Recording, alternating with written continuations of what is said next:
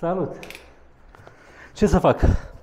Uh, izolez pardoseala, pentru că aici o să trebuiască să lucrăm la pereți, să-i rașchetăm, să-i răzuim, să-i șlefuim și trebuie să protejăm suprafața bine. Și dacă tot ai venit, haide ca să arăt oamenilor cum protejăm noi suprafața. Noi aici jos avem uh, un parchet din lemn masiv, ăsta e parchetul din lemn masiv, care o să fie șlefuit. Și na, noi nu ne bazăm pe chestia asta și trebuie să-l protejăm înainte și folosim materialul ăsta, care este foarte bun pentru că, pe lângă faptul că are o folie deasupra, uh, are și un strat așa gros mai moale și în caz de cade ceva, uh, poate să atenueze căderea și nu se deteriorează. Stai că ți arăt imediat, eu nu stai să-mi lași o mască aici. Nu prea îl găsești, am umblat puțin după el.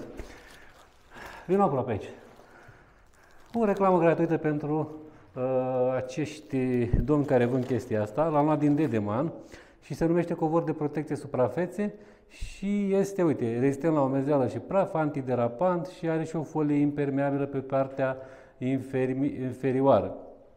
Zic ei că folia. Noi am pus cu folia în sus, uh, pentru că aici o să se mai facă tot felul de praf, de vapor, de umiditate. Uh, dacă e vorba doar de vopsea, da, e suficientă chestia asta, însă noi aici o să trebuiască să lucrăm mai multe echipe, o să vină electricieni, o să spargă, o să vină instalatori, o să spargă. Și chestia asta, eu am lipit-o, dar nu este super rezistentă. Și ce o să fac eu? O să pun încă o folie peste, astfel încât să mă asigur că nu se deteriorează parchetul.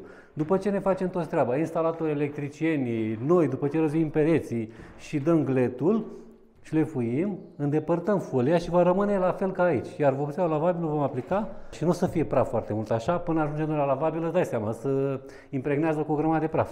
Și hai să și folie. Folie grosuță, știi?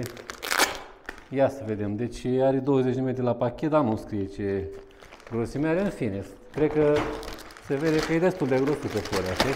Și am pus folia peste asta și cam asta este. Așa că protejați suprafețele, pentru că o să vă vină mult mai ușor atunci când uh, terminați lucrarea. Altfel, o să fie vai și amar. Cam atât am vrut să zic, domnul Ionuț. Acum, dacă tot ești aici, hai să pun și o folie asta. Voi, like, share, abonare, mai rămâneți pe canal, pentru că mai avem clipuri de la această lucrare și de la multe altele. Anul ăsta, chiar de anul viitor, o să vă punem clipuri unul după altul, unul după altul. Hai, la revedere!